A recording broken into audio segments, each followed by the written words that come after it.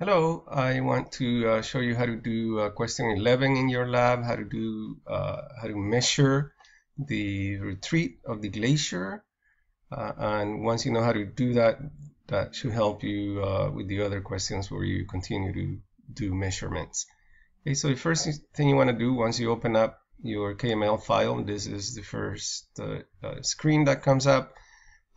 notice there is a slider uh, up here is a historical slider where you could slide all the way up to 1985 if you wanted. For this lab, we're just looking at the period between 2006 and 2016. Okay, so when you first open up, you, we're looking at August 2016. Uh, so the first thing you want to do is go back to 2006. So you take the slider, take the big part of the slider. So you're taking the whole thing. It has two little parts and I'm going back in time. And uh, I'm going to stop at the second half of 2006 right here.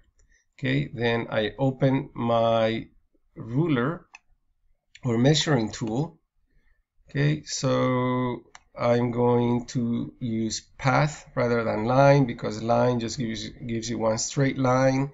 But because the glacier turns we want to use path because we're going to be measuring in segments okay? And then so I have that. Now I'm going to change my units. You can either use kilometers or miles. I'll show you miles this time but either one is fine.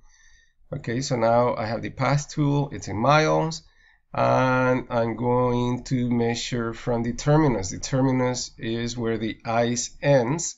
And it ends uh, right here because the ice is this light blue cyan color and underneath it here south of it we see the bay. That's just dark water. Remember that's one of the feedback positive feedback uh, cycles when light color ice turns into dark water as it melts. But anyway so I'm going to place a dot here at the terminus.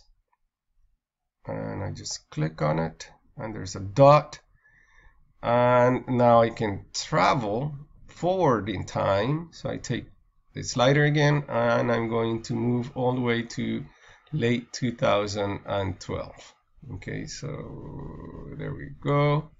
Okay now we can see that the ice has retreated right? So now the terminus is way up here. This is where I began. So I make the measurement actually in three segments so that I can you know simulate a uh, turn okay so let me just put one here. Okay another dot here. Okay and then I'll just finish at the terminus here. It's a little bit that way. Probably there. Okay so what do I get? Uh, my final answer is 2.98 miles so almost three miles uh, that the ice retreated in those six years. Okay, so this is how you do it. I hope that's helpful.